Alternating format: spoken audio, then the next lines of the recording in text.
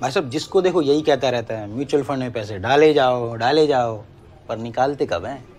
हम्म। देखिए आपको ये नहीं पता कि पैसे निकालने कब है क्योंकि आपको ये नहीं पता कि दूध को कितनी देर उबालना चाहिए।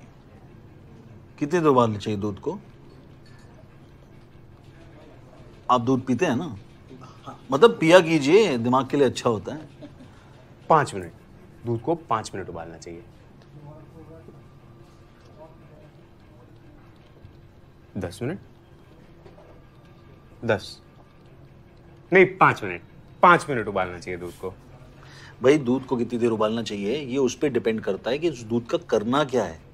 पीना है खीर बनानी है या फिर रबड़ी और खोया? हाँ सर, मैं यही कह रहा था सर कह रहे थे। तो आपको ये नहीं पता कि म्यूचुअल फंड से पैसे कब निकालने चाहिए क्योंकि आपको ये नहीं पता कि वो पैसे इन्वेस्ट क्यों कर रहे हैं।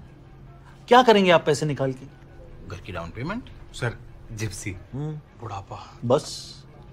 अब जब गोल क्लियर हो गया ना तो उस हिसाब से एक सिस्टमैटिक इन्वेस्टमेंट प्लान चुनेंगे और उसमें तब तक इन्वेस्ट करते रहेंगे जब तक गोल लायक पूंजी पूरी ना हो जाए। जिस दिन पूंजी जमा हो गई ना भगोना गैस से उतार लेंगे। क्या बात। और ऐसे कोई भी डाउट हो ना तो किसी भरोसेमंद जिम्मेदार एक्सपर्ट से राय ले लो। ये कहाँ मिलेंगे? सर खुद। हैं अच्छा।